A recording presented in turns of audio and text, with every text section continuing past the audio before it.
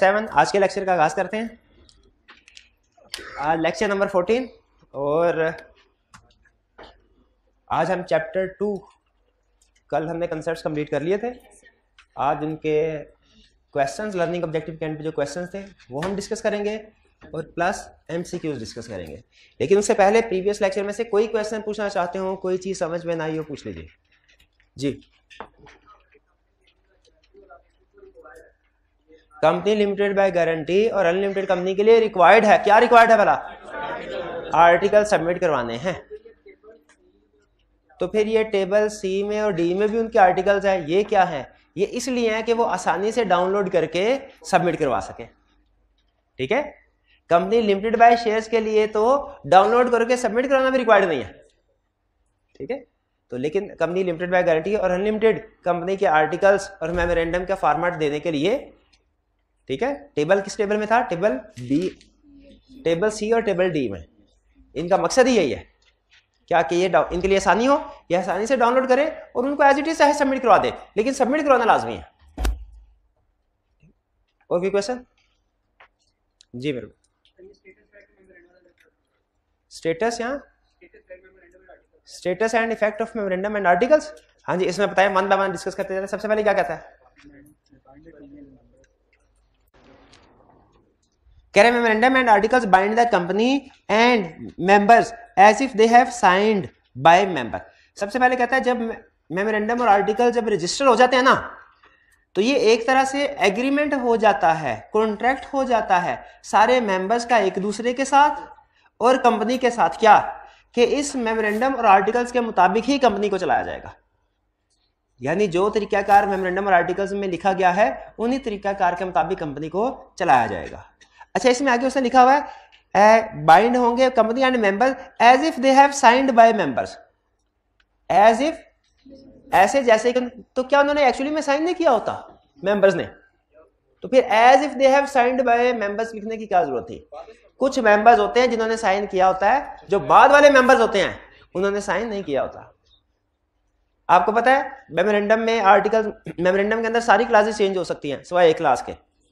Subscription क्योंकि उसमें subscribers होते हैं। और सब्सक्राइबर्स वही लोग होंगे जो ओरिजिनली फ़र्स्ट टाइम जिन्होंने मेमोरेंडम को सब्सक्राइब किया साइन किया। जो बाद में आने वाले होते हैं, वो मेंबर्स तो बनते हैं। सब्सक्राइबर कभी नहीं बनते। ठीक है? तो इसीलिए कह रहा है कि बाद में आने वाले जो मेंबर्स होंगे, इनके ऊपर भी मेमोरेंडम और आर्टिकल उसी तरीके से अप्लाई करेगा, जैसे इन्होंने साइन किया। ये बाद में ये नहीं कहेंगे कि हमने तो मेंबर तो हैं कंपनी के लेकिन हमने मेमोरेंडम को साइन नहीं किया। ये हमारे ऊपर एप्लीकेबल नहीं है। ये नहीं कह सकते। ये इनके ऊपर बाद में आने वाले मेंबर्स के ऊपर भी ऐसे ही अप्लाई होगा, जैसा कि सब्सक्राइबर्स के ऊपर अप्लाई हो रहा है। फिर members have to observe memorandum and articles unless in conflict with company act ये तो वही बात होगी जो हमने पढ़ी है कि मेंबर्स ने मेमोरेंडम और आर्टिकल्स के मुताबिक ही कंपनी को चलाना है। फैसले करने हैं मेमोरेंडम और आर्टिकल्स के मुताबिक ही करने हैं अनलेस कि कंपनीज़ एक्ट में और मेमोरेंडम आर्टिकल्स में कंफ्लिक्ट है। और आपको पता है सूरत में क्या होगा? कंपनीज़ एक्ट की रिक्वायरमेंट प्रीवेल करेगी। कंपनीज़ एक्ट ओवर करेगा। ये समझ आ गई पहला से। इसके बाद सेकंड भी एक्सप्लेन कर दो।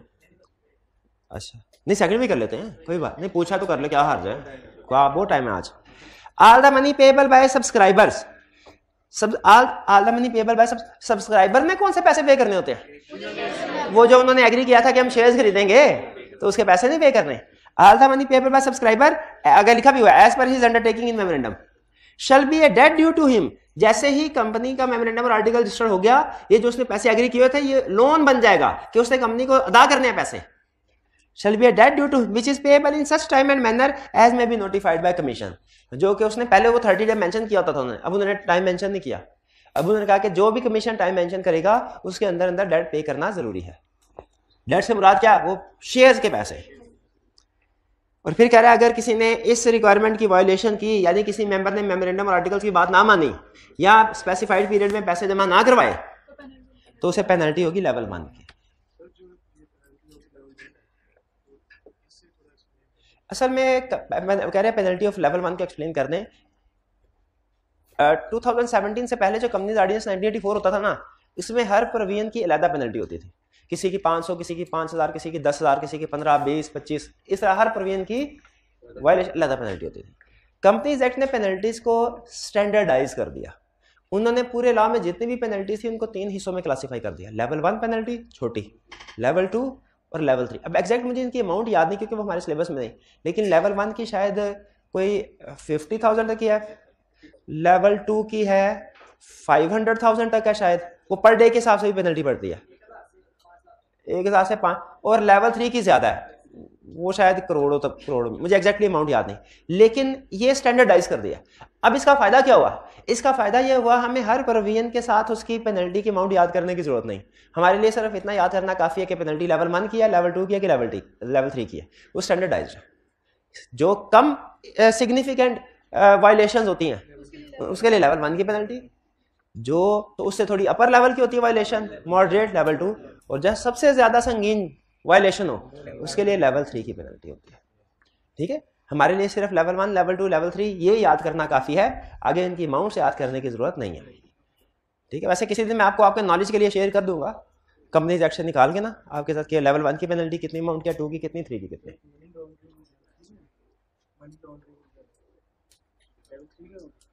नहीं मनी लॉन्ड्रिंग वगैरह वो हमारे सिलेबस में नहीं है, वो तो क्या फोर के सिलेबस में है। और उनके ऊपर अलहदा, वो मनी लॉन्ड्रिंग लॉ अलहदा उसमें पेनल्टीज भी उसने अलहदा दी है, वो कंपनीज़ एक्ट वाली पेनल्टीज नहीं है उसको जी, और कोई क्वेश्चन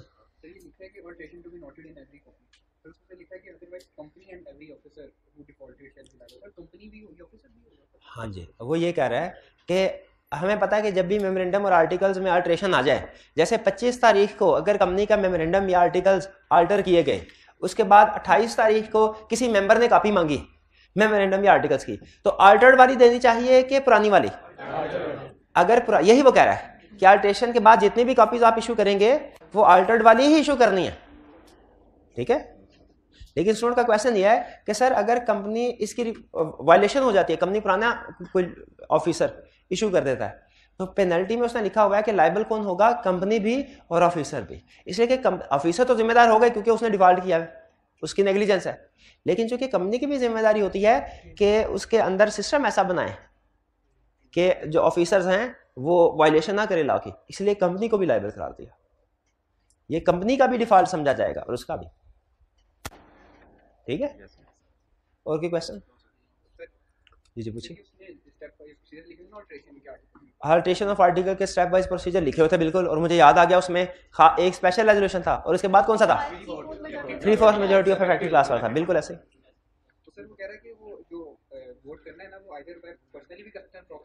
वो पर्सनली भी कर सकते हैं प्रॉक्सी भी कर सकते हैं। ये पर्सनली और प्रॉक्सी वाला अभी फ़िलहाल याद कर लीजिए ये हमारा टॉपिक आएगा मीटिंग्स वाला। इसमें हम स्टडी करेंगे, कुछ टाइप ऑफ़ रेजोल्यूशन ऐसी होती हैं, कुछ वोटिंग का टाइप्स ऑफ़ वोटिंग ऐसे होते हैं, जिनमें सिर्फ़ जो लोग प्रेजेंट है, वही वोट कास्ट करते हैं। और कुछ वोटिंग सिस्टम ऐसे होते हैं, जिनमें जो लोग मीटिंग में मौजूद नहीं है, वो भी किसी ना किसी तरीके से वोट कास्ट कर लेते हैं। वो किस किस तरीके से वोट कास्ट कर सकते हैं, वो फिर मीटिंग वाले चैप्टर में पढ़ेंगे। ये मैं जानबूझ के ये अल्फाज नहीं पढ़ा रहा आपको, ये जो आता है कि जी वोट बाय इन पर्सन और प्रोक्सी और पोस्टल बैलेट ठीक है ये तरीका कार है वोट कास्ट करने के।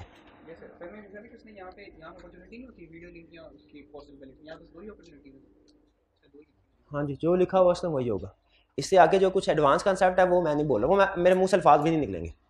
ठीक है स्टूडेंट कंफ्यूज हो जाएँगे। और की क्वेश्चन सर जो आर्टिकल्स को हम रजिस्टर करवाते हैं लिमिटेड बाय शेयर जी जी। तो उसके लिए आपने बताया था कि टेबल ए जो होगा उसके सारे कंटेंट्स होना ज़रूरी नहीं नहीं है ना? हाँ लिमिटेड बाय शेयर है उसने अगर अपने आर्टिकल सबमिट करवाए हैं तो उसके लिए लाजमी नहीं कि जो टेबल ए में लिखे हुए हैं सारे कंटेंट्स सारे के सारे उस आर्टिकल्स में हो जो कंपनी जमा करवा रही है। हाँ हो सकता है सारे लेकिन इसका ये मतलब नहीं है कि जो जो कंटेंट्स जमा नहीं करवाए वो कंपनी पे अप्लाई ही नहीं होंगे। वो होंगे। हमने ये पढ़ा था, अगर पूरे का पूरा आर्टिकल ही जमा नहीं करवाया कंपनी लिमिटेड बाय शेयर ने तो पूरे का पूरा आर्टिकल टेबल ए वाला लगेगा। लेकिन अगर आधा आर्टिकल जमा करवाया और आधा नहीं करवाया तो जो आधा नहीं करवाया ना, वो टेबल एवर जो आधा जमा करवाया वो तो वही जो खुद जमा करवाया, वही अप्लाई होगा। लेकिन जो जमा नहीं करवाया टेबल ए वाला अप्लाई होगा। ये लिखा भी हुआ शायद किसी सिलेबस क्या इनमें भी कंफ्लिक्ट आ सकता है? बिल्कुल आ सकता है। इनमें अगर कंफ्लिक्ट आता है तो जो कंपनी ने जमा करवाया होगा, वो अप्लाई होगा। टेबल को क्योंकि कंपनी ने अपना डिफरेंट कर दिया ना। कंपनी ने अपना आर्टिकल क्या कंपनी के ऊपर लाजमी तो नहीं है कि जो आर्टिकल टेबल ए में वो डाउनलोड करके एज इट इज़ ही सारा सबमिट करवा दे? उसमें चेंज कर सकती है। जैसे जो टेबल ए वाला है, उसमें अगर लिखा हुआ है कि कंपनी के कम से कम तीन डायरेक्टर्स होंगे। और कंपनी ने लिख दिया अपने आर्टिकल्स में कम से कम पाँच होंगे। तो फिर कौन से वाला अप्लाई करेगा? पाँच लेकिन अगर डायरेक्टर्स कंपनी अपने आर्टिकल जमा कराते हुए डायरेक्टर्स वाला खाना खाली छोड़ देती है तो फिर जो ऊपर लिखे हुए हैं टेबल ए में वो अप्लाई होंगे तीन। क्लियर और कोई क्वेश्चन कोई क्वेश्चन नहीं? चलिए फिर क्वेश्चंस की तरफ़ चलते हैं हम रिटर्न क्वेश्चंस की तरफ़। Question nine the companies act requires that a public unlisted company shall have at least three director वही एग्ज़ाम्पल आ गई। Can articles of a public unlisted company fix its number of directors to be two क्यों? Violation of requirement हो जाएगी। ठीक है? Conflicting requirement हो जाएगी। टू नहीं कर सकते। और फाइव बिल्कुल फिक्स कर सकते हैं फाइव डिफरेंट लेकिन इसमें फाइव में कंपनीज़ जेट की भी रिक्वायरमेंट पूरी हो रही है। इसीलिए ये कर सकते हैं फाइव टू नहीं कर सकते।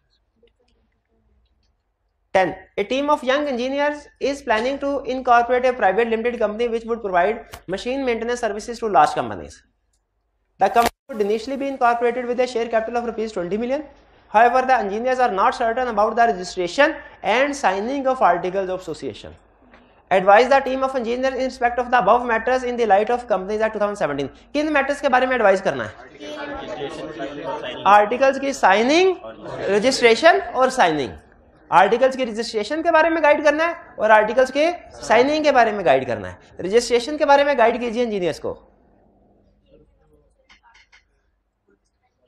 क्या रजिस्टर करवा लें? वो करवा लें हाँ। वो शेयर आर्टिकल रजिस्टर करवा भी सकते हैं और नहीं भी करवा सकते। अगर वो आर्टिकल्स नहीं रजिस्टर करवाते तो टेबल ये वाले अप्लाई होंगे। ठीक है? टेबल ए कब अप्लाई होता है? जब आर्टिकल्स बिल्कुल ही रजिस्टर ना करवाया जाए, तब टेबल ए अप्लाई होगा पूरे का पूरा। या अगर आर्टिकल रजिस्टर करवाए जाए, लेकिन उनमें कुछ बातें ना लिखी जाए, जो कि टेबल ए में है, फिर भी टेबल ए अप्लाई होगा। लेकिन इस दूसरे केस में टेबल ए पार्शली अप्लाई होगा। यानी जो चीज़ें डिस्कस नहीं हुई, उनके हिसाब से अप्लाई होगा। क्लियर ये रजिस्ट्रेशन ऑफ़ आर्टिकल समझ आ गई? क्या ये कंपनी लिमिटेड बाय शेयर बनाना चाहते हैं? जी, बिल्कुल शेयर कैपिटल है। तो रजिस्ट्रेशन ऑफ़ आर्टिकल हमने डिस्कस कर दिया। करवा भी सकते हैं और मे नॉट रजिस्टर्ड और अगर रजिस्टर नहीं करवाते तो क्या होगा? वो भी बता दिया. साइनिंग ऑल सब्सक्राइबर साइन करेंगे. और अपने पर्टिकुलर्स लिखेंगे. और एक विटनेस उसको टेस्ट करेगा कि साइन इन्होंने किया, ठीक किया. और उसके भी पर्टिकुलर लिखे जाएँगे. Ten clear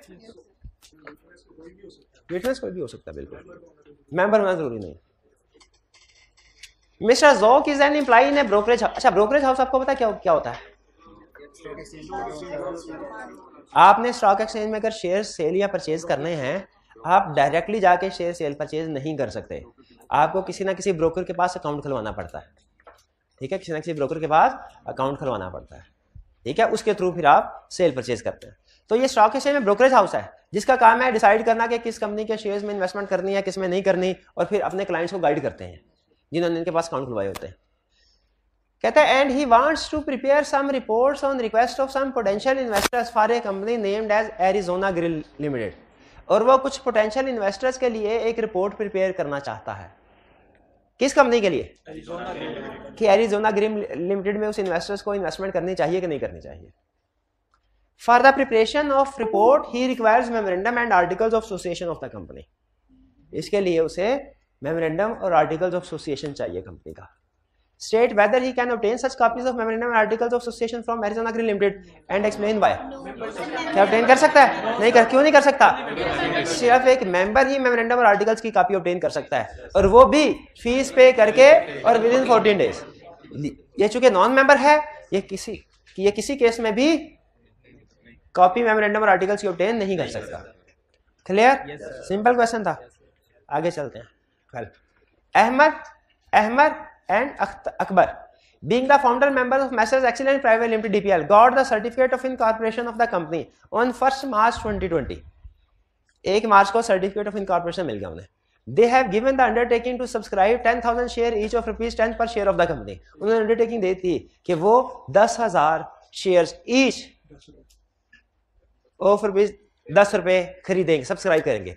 Discuss time period of payment by subscriber अब अब अब ये तो एक डेट ड्यू हो गया ना, जो उन्होंने पे करना है। कितने में पे होना चाहिए? Within the period as specified by commission ठीक है, जो कमीशन स्पेसिफाई करेगा। ट्वेल्व क्लियर चलिए। ये तो हमारे हो गए क्वेश्चंस अब क्या करना है हमने? एमसीक्यू शाबाश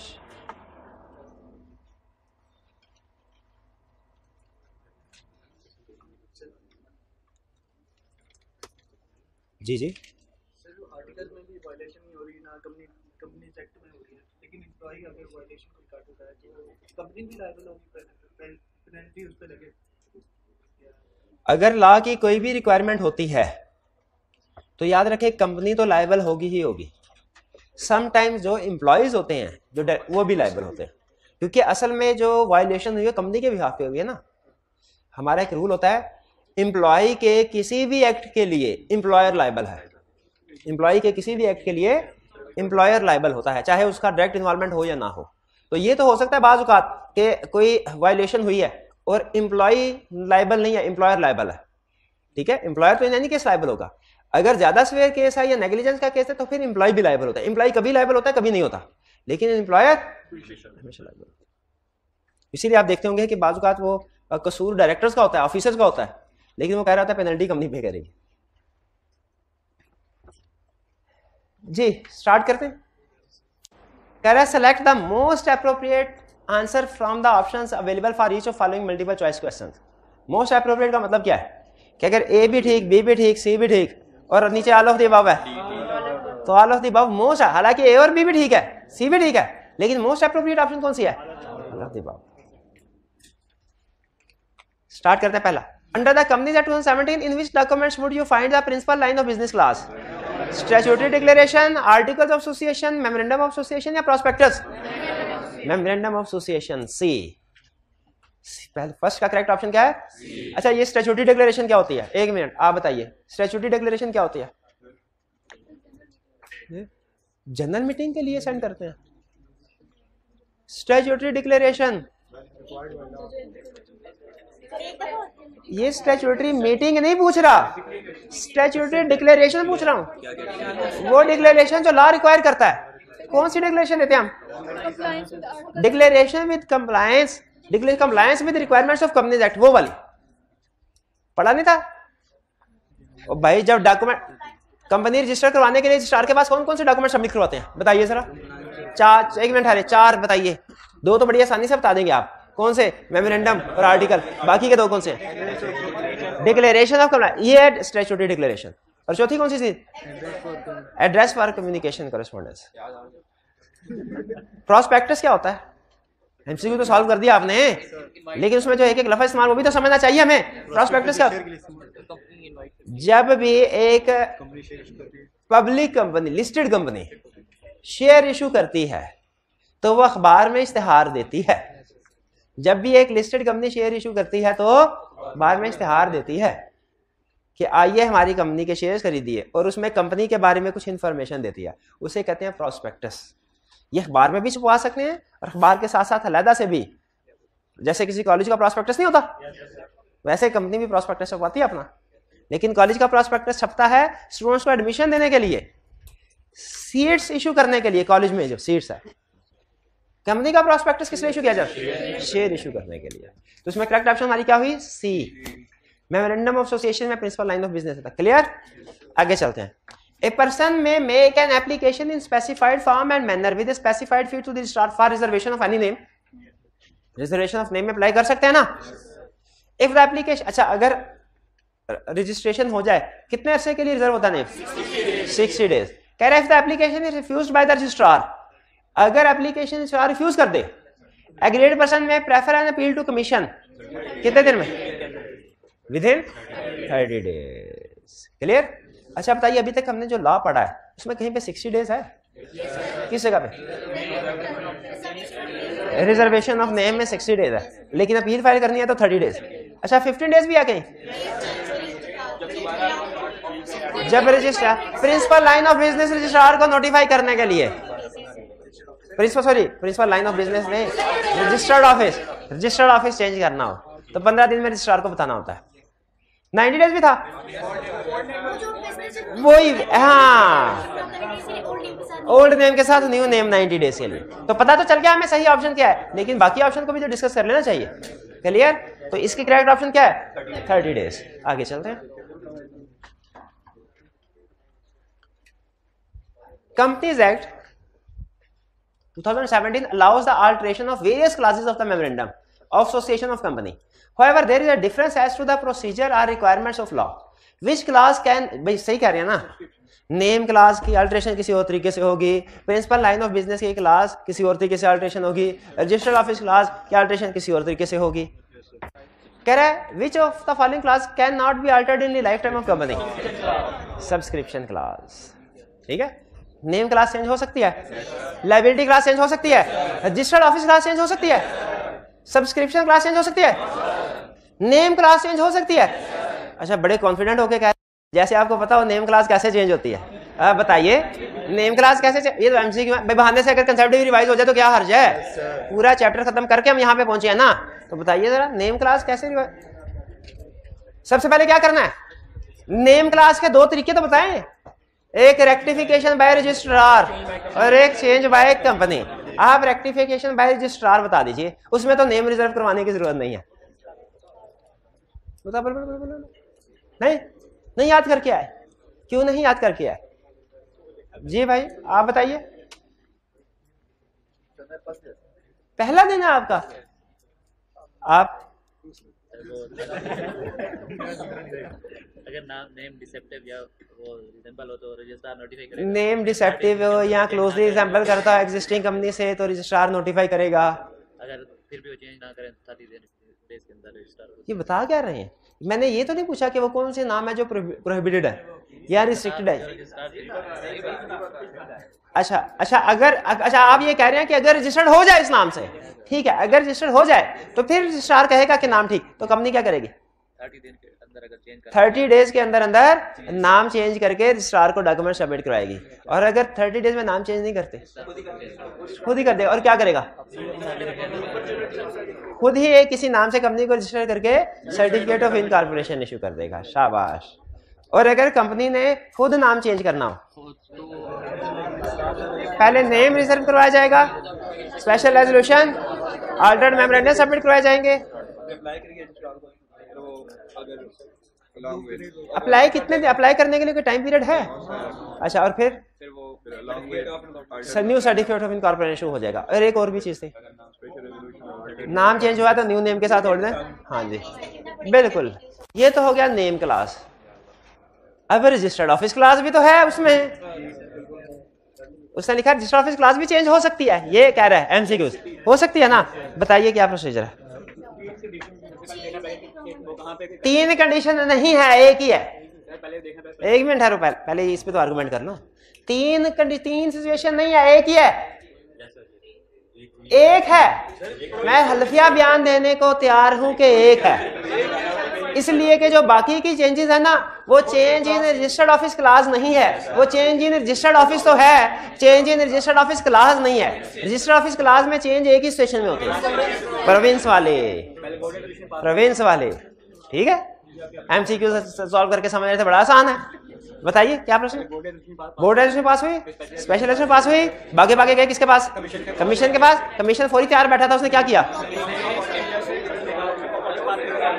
ऑर्डर इशू किया having regard to interest of पहले मेंबर्स और क्रेडिटर्स के इंटरेस्ट को वाच करके ऑर्डर इशू किया। ऑर्डर की कॉपी सात दिन के अंदर। कंपनी रजिस्ट्रार को दी। कंपनी ने तीस दिन के अंदर अंदर रजिस्ट्रार को डॉक्यूमेंट सबमिट करवाए। उसने अल्टर्ड मेमोरेंडम इशू कर दिया। और रिकॉर्ड सारा। न्यू रजिस्ट्रार को ट्रांसफ़र हो गया। क्लियर और लाइबिलिटी क्लास ये भी चेंज हो सकती है क्या? अगर फ़र्ज़ कीजिए कंपनी लिमिटेड बाय गारंटी है, उसमें लाइबिलिटी के अंदर हर एक ने एग्री किया हुआ है कि मैं कितनी पैसे दूँगा। किसी एक मेंबर की लाइबिलिटी को इंक्रीज किया जा सकता है। उससे पूछ के स्पेशल लेजर पास करनी पड़ेगी, लेकिन उसे पूछ के, शाबाश। तो ये हमारे थर्ड एमसीक्यू क्लियर हो गया। फोर्थ पे चले। नहीं राइट्स के लिए तो पूरी की पूरी क्लास की मंजूरी लेनी पड़ेगी ना। लाइबिलिटीज के केस में उसे इंडिविजुअल की अप्रूवल लेनी पड़ती है। हाँ नहीं बोले बेसिकली सिर्फ़ राइट्स के लिए है वो जो पहले कंसेप्ट पड़ा था। उसमें राइट्स और लाइबिलिटी सही कह रहे हैं दोनों फास्ट लिखे हुए हैं। हाँ वो डिपेंड करता है ना लाइबिलिटी अगर आप किसी एक इंडिविजुअल की चेंज कर रहे हो तो उससे एग्रीमेंट इन राइटिंग लेना पड़ेगा। और अगर कोई क्लास की लाइबिलिटीज चेंज कर रहे हैं पूरी तो उस पूरी क्लास के ठीक है लेकिन नॉर्मली एग्ज़ाम में जितने भी उसने क्वेश्चन दिए जब लाइबिलिटी चेंज करवाता है तो लिमिटेड बाय गारंटी का एग्ज़ाम्पल आता है कि एक बंदे की लाइबिलिटी इंक्रीज हो रही है। बताइए क्या होगा? हम कहते हैं वो राइटिंग में देगा। और जब राइट्स वेरी करवाता है तो पूरे क्लास मेंशन करता है कि कंपनी की दो क्लासेस थी class A class B class B के राइट्स को वेरी किया जा रहा है। Twice and Twice Limited resolved to shift its registered office from Gujranwala to Lahore, that is within the province of Punjab. For this purpose, TTL must obtain consent of creditor who are entitled to object and obtain prior approval of commission. ये तो उस वक्त करते हैं जब class change हो रही है। Be give notice of change to the commission within a period of 15 days after the change नहीं, ये करते तो है लेकिन रजिस्ट्रार को, शाबाश। ये भी गलत। C obtain approval of the registrar prior to shifting of its registered office नहीं प्रायर अप्रूवल थोड़ी, उसको बाद में प्रायर अप्रूवल का मतलब क्या होता है? पहले अप्रूवल लेना। हम तो बाद में उसको नोटिस दे, पंद्रह दिन बाद। Notice of change in situation of the registered office to the registrar within a period of 15 days after the date of change तो ये डी चेंज ठीक है फोर का करेक्ट ऑप्शन क्या है D next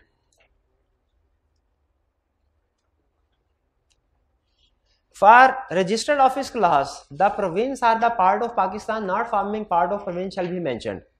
For example if the company proposes to have a registered office in Islamabad they will write in their memorandum that registered office will be sited in province of Sen province of Punjab in Islamabad हाँ यानी सी C option उस part का नाम लिखा जाएगा। वो part कौन सा है? सी इस्लामाबाद तो सी ऑप्शन करेक्ट हुई हमारी।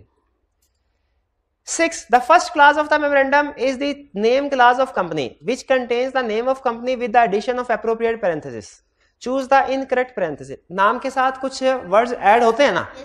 कंपनी लिमिटेड वगैरह. लिमिटेड वगैरह. लिमिटेड होता है बाजू का टाइप ऑफ़ फॉर्म निकले हाथ से। आपने बताना है इसमें से कौन सा गलत है? A Abdullah private limited is a private company Rahim guarantee limited is a guarantee limited company दिलायस PLC is a public limited company नहीं। नहीं। अगर ये पब्लिक लिमिटेड सही अगर ये सही होता तो फिर क्या लिखते बोला द लॉयर्स लिमिटेड सिर्फ़ ये अल्फाज लिखते। कोई ब्रैकेट ना आती। पीएलसी के लफ्ज से कुछ भी नहीं बनता पाकिस्तानी लॉ के मुताबिक। यूएसए के लॉ के मुताबिक शायद उसमें पीएलसी बनता हो। यूएसए में जो पब्लिक लिमिटेड कंपनीज़ होती है, उनके नाम के साथ पीएलसी पाकिस्तान में नहीं लिखते। पाकिस्तान में क्या लिखते हैं? सिर्फ़ लिमिटेड का word next seven every company shall supply within a period of 14 days a copy of memorandum and articles of company upon the request and payment of a prescribe amount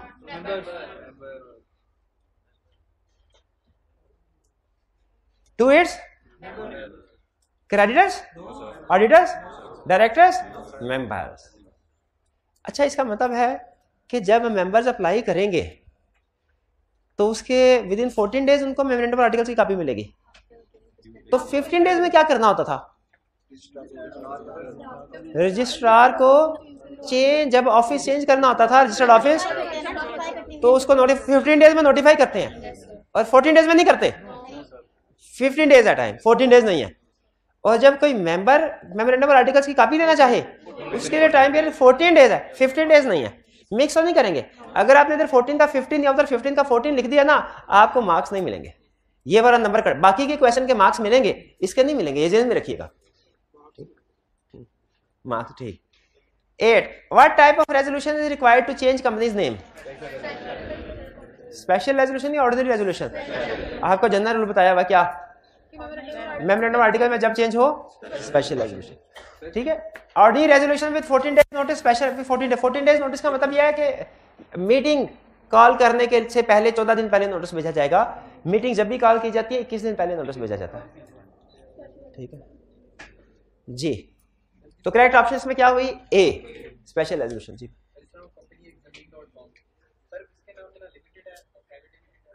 company है ज़मीन dot com website अगर उन्होंने अपने आप को as company register देखिए, एक होता है कंपनी का नाम, एक होता है प्रोडक्ट का नाम। ठीक है? बाज औकात कंपनी कुछ और होती है, उसके डिफरेंट प्रोडक्ट्स के नाम के साथ वर्ड लिमिटेड नहीं आना चाहिए। वो लाजमी नहीं कंपनी के नाम के साथ लिमिटेड आना चाहिए।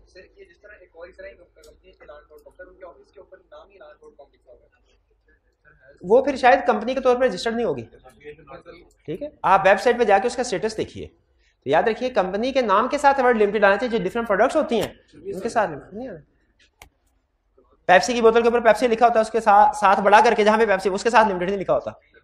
ठीक है? लेकिन जहाँ पे वो नाम नीचे लिखा होता है, उसके साथ वर्ड लिमिटेड आ रहा होता आगे चलते in relation to company's articles of association which of the following is incorrect which of the following is incorrect इसका मतलब क्या है? जो गलत है, वो ढूंढना है। जो सही है, वो नहीं। कौन सा गलत है? The articles of association set down the internal regulation of company सही या गलत? तो इसको नहीं ढूंढना। Promoters may or may not submit their own form of articles when submitting the forms necessary to form a company limited by share. सही है? तो हमने तो इनकरेक्ट को ढूंढना है।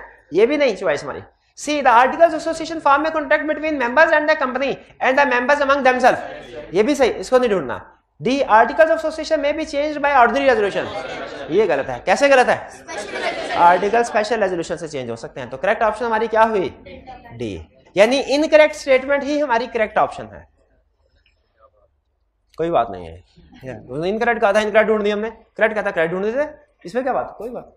Ten If a company changes its name, then former name is required to be mentioned along with the new name for a period of 90 days from the date of issuance of the new certificate of inquiry. ये तो आपको याद होगा। 120 days बात पड़ी है? नहीं पड़ी कि एक साल खत्म होने के 120 दिन के अंदर कंपनी ने मीटिंग कंडक्ट करवानी है। ये नहीं पड़ा हुआ? ओके ठीक है। और एक साल की भी बात नहीं पड़ी हुई। ओके नन ऑफ़ तो करेक्ट ऑप्शन क्या है हमारी? A 90 clear 11 A company has been incorporated with a name in contravention of the relevant provisions of the Companies Act 2017. Now the directors have received an order from the registrar to rectify name after providing an opportunity of being heard. अब order आ गया. The name is required to be rectified or changed within a period of 30 days. नहीं करेगा तो registrar खुद बहुत कर देगा तो बेहतर यह है कि खुद ही नाम सेलेक्ट कर ले 15 डेज़ तो नहीं है 15 डेज़ में क्या होता है नोटिफाई तो registrar in case of change in registered office 120 days तो नहीं है ये तो हमने नहीं पढ़ा हुआ? कि साल खत्म होने के 120 दिन के अंदर कंपनी ने मीटिंग करवानी है। ये नहीं पढ़ा, चले। तो 30 डेज़ तो पढ़ा हुआ है। क्या पढ़ा 30 डेज़ में? 30 डेज़ में क्या क्या करना होता है? डायरेक्टर्स ने कंपनी का नाम रेक्टिफाई करना है जब कमीशन रजिस्ट्रार से ऑर्डर आ जाए। थर्टी डेज़ में और क्या क्या करना होता है? कर सकते हैं कमीशन प्रोविंस के केस में जब चेंज किया था तो कमीशन को नोटिफाई करा था 30 डेज़ हाँ हाँ। जब प्रोविंस के केस में हमने रजिस्टर्ड ऑफ़िस को चेंज किया था तो कमीशन का ऑर्डर रजिस्ट्रार को तीस दिन में दिया था। और क्या तीस दिन में करते हैं? हाँ रजिस्ट्रार के किसी डिसीज़न के खिलाफ अपील जब फ़ाइल करनी होती है वो उसके लिए भी थर्टी डेज़ का काम टाइम है। इवन ये नहीं हमने पढ़ा हुआ कि अगर कंपनी के किसी फैसले के खिलाफ कोर्ट को अपील करनी हो तो उसके लिए भी तीस दिन का टाइम है। ये नहीं पढ़ा हुआ। चले ठीक है। आ, आगे चल के चले ठीक है। ठीक है अभी। तो इसका मतलब है थर्टी डेज़ थर्टी डेज़ हो गया ना? थर्टी डेज़ में उन्होंने अपना नाम चेंज करना है। और न्यू नेम के साथ पुराना नाम कितने दिन तक नाइन्टी डेज़ एक सौ बीस दिन तो हमने नहीं पढ़ा हुआ कुछ। कि साल खत्म होने के एक बाद एक सौ बीस दिन के अंदर मीटिंग ये तो नहीं पढ़ा हुआ। अच्छा ठीक ठीक अच्छा थर्टी डेज़ में ये भी नहीं पढ़ा हुआ कि अगर किसी कंपनी के फैसले के साथ कोर्ट को अपील, किसी मामले को अपील तो भी थर्टी डेज़ में कर ये नहीं पढ़ा हुआ। ठीक है। Twelve which of the following is not covered in table A of the first schedule ये आपका मेमोरी टेस्ट है। डायरेक्टर्स के बारे में डिस्कशन थी? मैम वोटिंग प्रॉक्सी के बारे में? एनुअल रिटर्न के बारे में नहीं थी अच्छा एनुअल रिटर्न के साथ लिख लें ये एनुअल रिपोर्ट नहीं है। एनुअल रिटर्न के साथ लिख लें ये एनुअल रिपोर्ट नहीं है। Annual return is not annual report annual return is not annual report annual return annual report नहीं है। और ना ही एनुअल रिटर्न सेल्स रिटर्न है। रिटर्न से वो काउंटिंग में जो एक्सपर्ट होते हैं उनके में सेल्स रिटर्न आ जाती है। ये वो भी नहीं है। ये कोई सफ़ा होगा, पता नहीं इसमें क्या लिखते होंगे। Thirteen a company is changing its registered office from Gulgasht colony to Bukhari colony within the city of Multan which of the following requirements are applicable same city में है। रजिस्ट्रार को नोटिफाई करना है?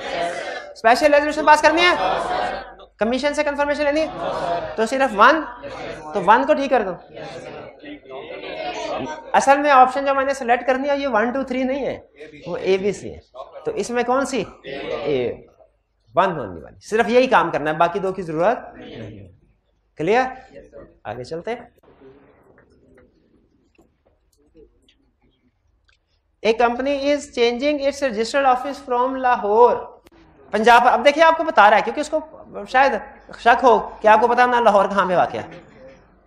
लाहौर, पंजाब प्रोविंस में। To Multan, ये भी Punjab province में। Company Lahore से मुल्तान शिफ्ट होना चाहती है। Which of the following requirements are applicable registrar को नोटिफाई करना है।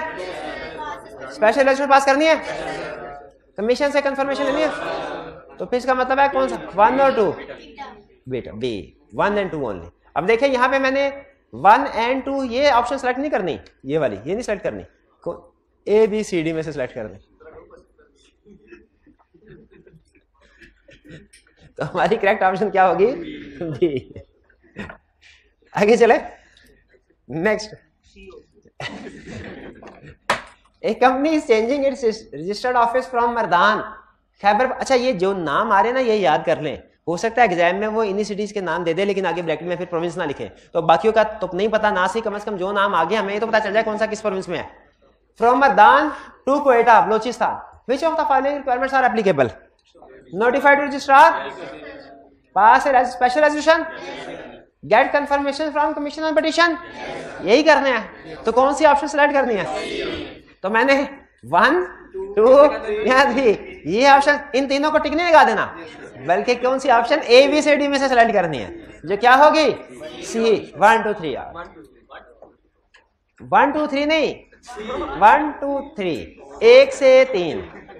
एक से तीन। सी ऑप्शन करेक्ट होगी हमारी क्योंकि प्रोविंस टू प्रोविंस चेंज हो रहा है। क्लियर ये? आज हमारा चैप्टर टू कंप्लीट हो गया। और फिर उसके बाद हमारा क्वेश्चन भी हो गए। कल आपका टेस्ट भी है। चैप्टर टू का ही है अरे, आप पढ़ अच्छा चैप्टर वन भी है। ठीक है, ठीक ठीक है। और इसका पार्ट वन बट ठीक है। अच्छा कल के लेक्चर में एक तो आपका टेस्ट वन की डिस्कशन होगी। ठीक है? वो मैं टीए के साथ डिस्कस करूँगा वो टी आपको डिस्कशन करवाएगा। और फिर उससे पहले मैं आपको ये सिखाऊँगा कि केस स्टडी कैसे अटैम्प्ट करनी है। अभी तक हमने केस स्टडी अटैम्प्ट करना नहीं ना सीखे। मैं चाह रहा था आपके कुछ बेसिक कंसेप्ट स्ट्रांग हो जाए ताकि आप कुछ समझने के काबिल हो। अब आप इस काबिल हो गए हैं कि समझ सके केस स्टडी को अटैम्प्ट कैसे करना है। तो कल के लेक्चर में हम इंशाल्लाह वो कंसेप्ट सीखेंगे जो हमारे पूरे सिलेबस के हर चैप्टर में काम आएगा। वो कौन सा कंसेप्ट है? Case how to attempt case studies वो इंशाल्लाह करके लेक्चर में सीखें। और फिर आपका जो टेस्ट वन है इसकी भी डिस्कशन होगी। डिस्कशन होनी चाहिए ना? और आपको पता भी चलते रहना चाहिए। असल में टीए को क्यों मैंने एंगेज किया उसकी एक रीज़न ये भी है कि जब टीए टेस्ट चेक करते हैं तो हमारी नस्बत उनको आपकी वीकनेसेस ज़्यादा पता होती हैं। ठीक है? हमारी नस्बत उनको आपकी वीकनेसेस ज़्यादा पता तो एक दफ़ा वो डिस्कशन करेंगे उसके बाद अगर आप कुछ क्वेश्चन मुझसे भी डिस्कस करना चाहें तो वो भी कर सकते हैं अगर किसी पे शक शुभ हो। ठीक है? टेस्ट मिलेंगे कब? मेरा ख्याल कल मिल जाएँगे। एक हफ़्ते का टाइम होता है। ठीक है? एक हफ़्ते के बाद मिल जाते हैं। अभी एक हफ़्ता पूरा नहीं हुआ ना? छः छठा दिन। हाँ जी, कल होगा। तो कल कल भी सात दिन पूरे होंगे। उसके बाद मैं भी कल, मैं भी आठवें दिन, क्योंकि ड्यू डेट आठवां दिन होगा ना। ठीक है हाँ लेकिन मैं से पूछ रहा हूँ। हाँ जी, चलिए। क्लियर दो चैप्टर हमारे, जी जी। माइंड मैप कल के लेक्चर में इंशाल्लाह आपको मिल जाएगा, पूरे चैप्टर का मिल जाएगा, और बताए? चलिए। टेस्ट के बाद नहीं। तो कोई बात नहीं टेस्ट के बाद साथ साथ याद करते रहे ना। कोई मसला नहीं पेपर से तो पहले मिल रहा है ना। आई के पेपर से पहले मिल रहा है ना। बस ठीक है चलिए। आज का लेक्चर यहाँ पे ख़त्म करते हैं हम। अल्लाह